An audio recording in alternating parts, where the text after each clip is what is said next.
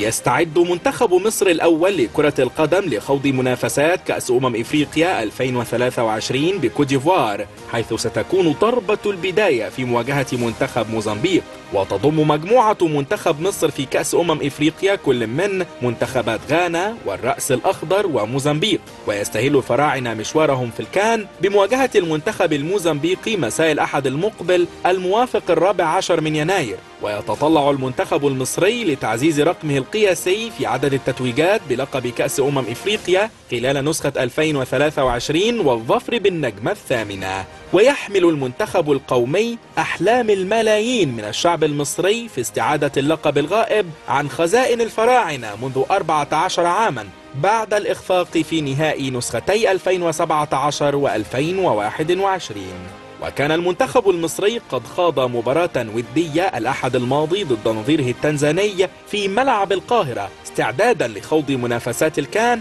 وحسمها الفراعنة بهدفين نظيفين وشهدت بعثة منتخب مصر في كوديفوار تركيزا شديدا من قبل جميع اللاعبين وإصرار وحماس كبير على تحقيق إنجاز جديد للكرة المصرية في النسخة المقبلة من كأس أمم إفريقيا. محمد صلاح ورفاقه من نجوم المنتخب المصري بقيادة المدير الفني البرتغالي روي فيتوريا في مهمة إسعاد المصريين والذهاب بعيدا في منافسات كأس أمم إفريقيا وإرضاء أحلام وطموحات أنصار أحفاد الفراعنة بنجمة ثامنة ولقب يثلج الصدور من قلب كوتيفوار